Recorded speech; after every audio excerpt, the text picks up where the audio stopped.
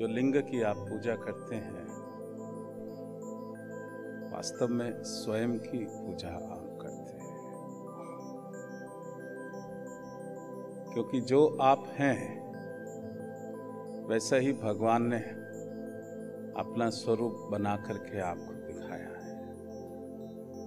जो आपका प्राण शरीर है, वो वास्तव में लिंग शरीर है, लिंग आकार है उसका। ब्रह्मांड का आकार भी अनंत है, लिंग है। आपका भी वो वही आकार है।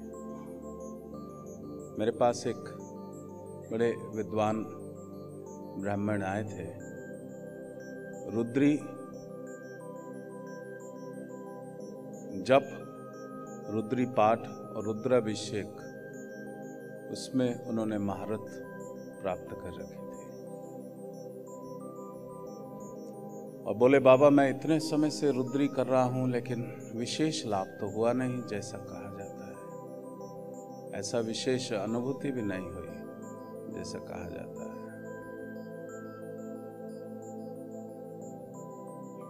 मैंने कहा, कैसे करते हो? क्या शिवलिंग सामने होता है मैं करता हूँ?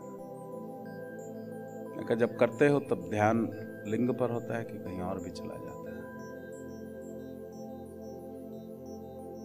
वैसे तो उन्होंने कहा कि ज़्यादातर वहीं होता है। पर जितने वो चिंतित लग रहे थे, अधिकतर ध्यान कहीं और होता होगा। और एक मशीन के रूप में वो रुद्राभिषेक करते होंगे।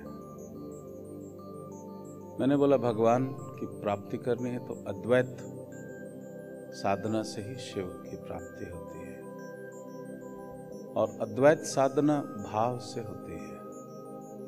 द्वैत जो है ड्वालिटी वो यंत्रवत भी हो सकती है।